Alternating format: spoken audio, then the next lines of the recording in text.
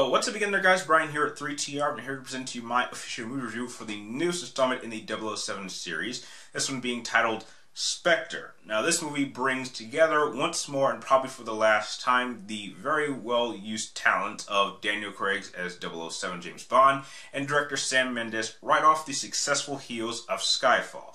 Now, in terms of plot, Spectre takes place a little bit after the events of Skyfall, in which after Bond gets back from a very destructive mission in Mexico City during Halloween, he then stumbles upon a path onto a secret organization, and after going a little bit further into his research, he then discovers that this organization is known as Spectre, and it somehow has ties to him in a secretive sense, and it's up for him and his 007 team in order to figure out exactly what Spectre is and how to take them down.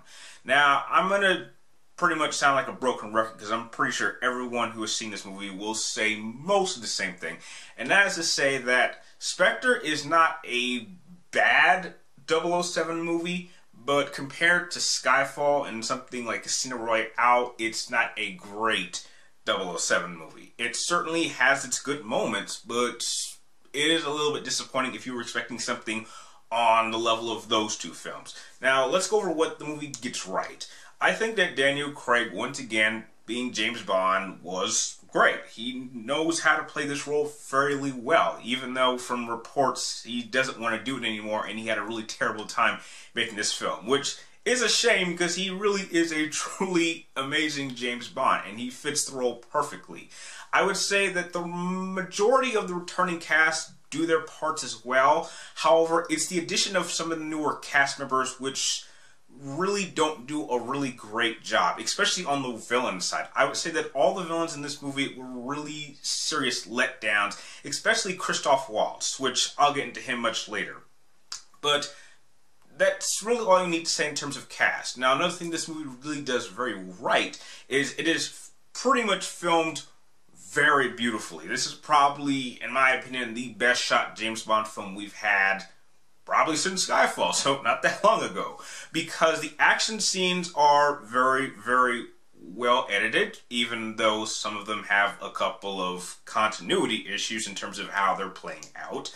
Uh, I thought that the music for this movie fit the tone very, very well, especially when the action, and the slower moments were playing out.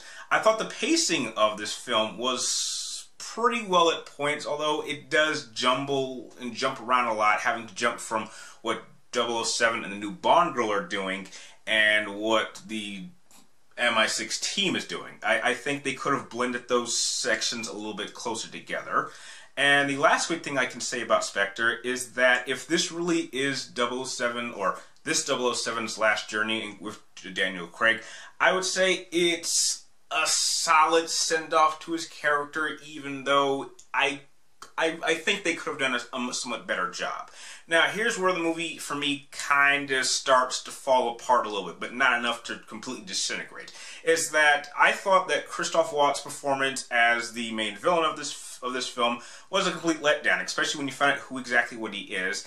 And I don't like how this felt the need to want to connect this movie with all the Daniel Craig films, and then when you find out what the motivation is, I thought it was pretty lackluster and disappointing. I hate movies that use this particular plot twist because I think it's cheap and just a ripoff of much better films. I mean, if you're going to make a motivation for a villain to be doing what he's doing, you got to come up with something better. Uh, I thought that Dave Bautista, as the supposed henchman of this movie, was let down because he really doesn't get to feel like a character. I, I, mean, I was actually a bit excited to see what he could do, especially from what I saw him do as Drax in Guardians of the Galaxy, which I very much liked him in. And in this one, he's just kind of wasted because you could put anyone in his part.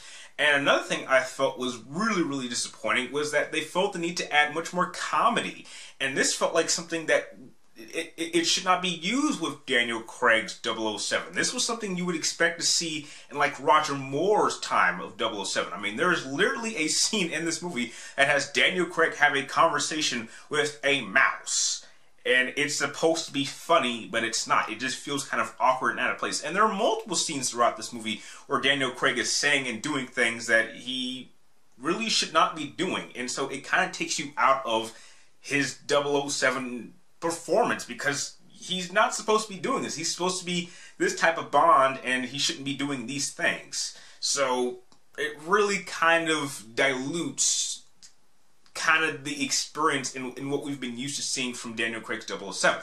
But again, it doesn't necessarily hurt the entire film. It's still very much enjoyable. I just think that in terms of some story plots, they could have been smoothened out. The movie could have been a little bit shorter. The villains could have been much, much better handled. And apart from that, if you were expecting a solid send off to this James Bond, if this really is Daniel Craig's last 007 movie, they could have done a much better job and maybe given us a bit of a headway in what we could expect from the next 007 movie.